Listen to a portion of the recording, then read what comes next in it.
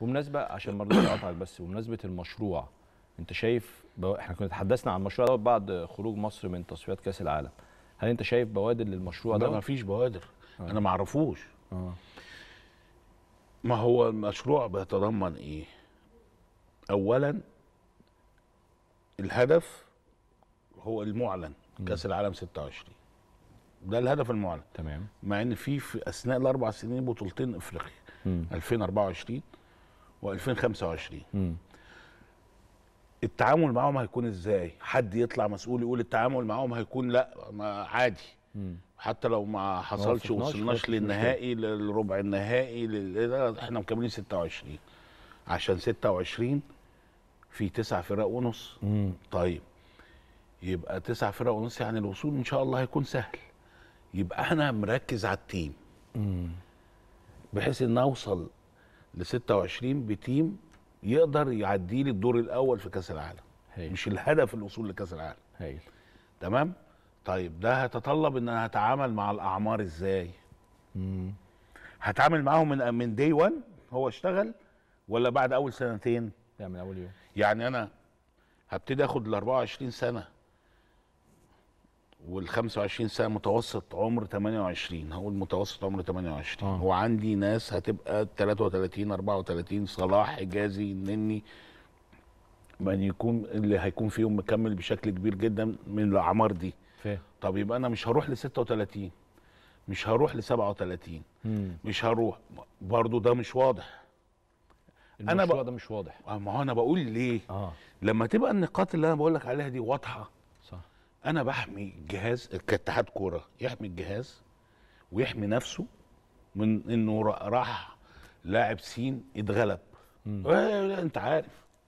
كنت لسه جاي لك فيها. ما هو أنا بقول لك أهو ما أنا بقول لك بس ده لازم يعلن وبقوه آه. إحنا يا جماعة مشروعنا كذا آه. بكذا بكذا بكذا بكذا. طيب. يتقال إن أنت ساعتها تقدر تتناقش في البنود مم. بس هتبقى مستريح. أيوه. إن في نقاط. واضحة. أيوه. وفاهم و- الراجل بيشتغل إزاي. ونقاط يعني يعني ما حدش يتكلم فيها. صح. أنت فاهم أنتوا؟ قبلتوني واشتغلتوا معايا وتعبتوا. معايا أنا ده مشروع. أيوه هشتغل بيه. موافقين؟ موافقين. مش موافقين هو ده أنا ده أنا قصدي. والقصد ده لمصلحة الكورة ومصلحة اتحاد الكورة. اتحاد الكورة قاعد سنتين. مم. من دلوقتي فاضل له سنتين. مم. فيمكن في آخر 24 هيبقى في انتخابات. مم. كملوا يبقى هم مع المشروع. في حد تاني جه يبقى في حاجة واضحة وجاية وجاهزة. صح. انت, أنت واخد بالك إحنا جينا مع اللجنة مع المهندس أحمد مجاهد. وبعد كده جه اتحاد الكورة. مم. ف, ف عشان يبقى تبقى واضحة حاجات ثابتة واضحة. تبقى سهلة وبسيطة. وتبقى سهلة. آه مباراة بلجيكا. هي مباراة قوية جدا مباراة كبيرة جدا. آخر تجربة لبلجيكا قبل ما تخش على كأس العالم وبالتالي هتلعب تقريبا بفول تيم وهتلعب مباراة قوية جدا قدام المنتخب المصري. هقول لك حاجة قلقاني وقول لي رأيك فيها إيه. أنا خايف إنه لما ناخد مثلا لو لا قدر الله يعني لا أنا مش قلقان خالص من الماتش. والله؟